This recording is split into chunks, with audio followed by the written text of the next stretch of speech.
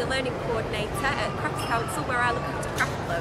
Today we're at Spitalfields Market Manufacturing where I'm going to be delivering our tutorial which we've developed with the British Science Association and the lovely Sarah Fennell.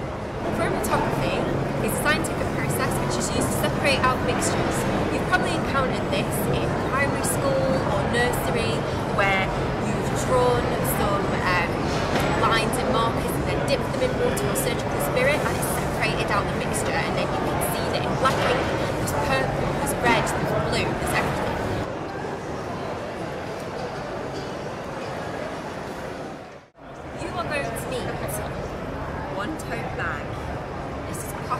probably good to pre-wash it before to remove some of the fabric dressing. We're also going to need some felt tips, the cheaper the better the ink spreads better. Try not to get permanent because it just won't shift, so pointless. You might also want to use inks. Again, cheaper the better and water-based, much better to use basically. Um, what else do you need? You're going to need some sponges and some brushes to apply either the inks and also the surgical spirit, which is the other thing that you are going to need. Now, when you're working with kids, be careful with this because it does pack a bit of a punch. Make sure the area is well ventilated if anybody starts to feel funny, make sure they get some fresh air because it does stink. So, we've got some of that and some Tupperwares here and apart from that, I think we're ready to start. Okay, so you've got your tote bag here. Now, we're going to decorate it and to speed things up a bit, I've, in true Blue Peter form, here is one that I have made earlier. So, you can do any pattern you want. You can do zigzags, you can do little dots, whatever you're going to do, just bear in mind that it's going to spread out a little bit. So I'm just going to finish this one off. So you can do little circles, dots, stripes, whatever you like. The second thing that's going to happen is we're going to take the lid off our very, very stinky surgical spirit. Now, you can dunk it and sort of have a very sort of dip dye effect. That will work just fine. I think if you're working with patterns, probably one of the best things to do is apply it sort of topically.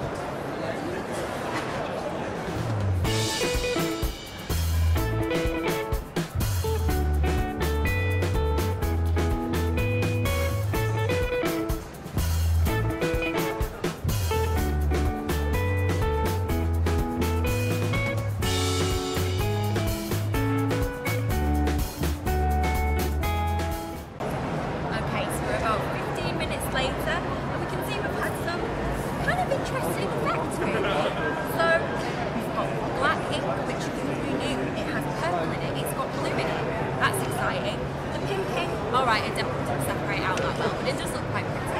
What you can do then is then dunk this into some saltwater solution to set the dye, and then wash it, and then you can embroider into it, you can put sequins onto it, you can put glitter glue, whatever you feel like doing, it's your craft activity, do what you want. We've got this one, which I quite like, it's quite pretty, and that's a mixture of ink and felt tip. That would look really nice if you added some sequins to it, or a little bit of like delicate embroidery. This one, which is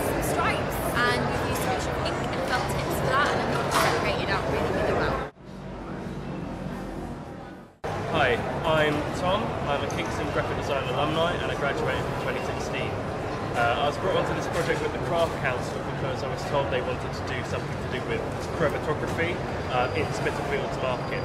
So I did a little bit of research into chromatography and I found out that it's something that discovered, well, helped to discover the um, insulin molecule. It's also something that's used in crime scene investigations and it's something where if you put like a black dot on a piece of paper, it can show all the different colours and pigments that make that up.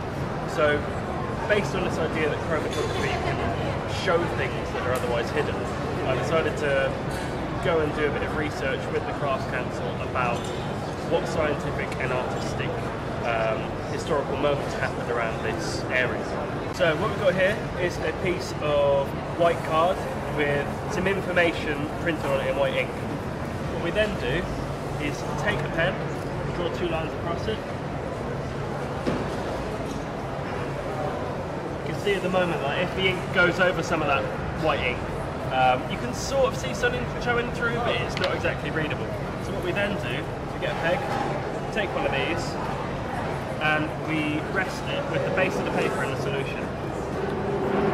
And what this does is makes it so that the solution rises through the paper, and as that ink spreads throughout it, it actually reveals that information.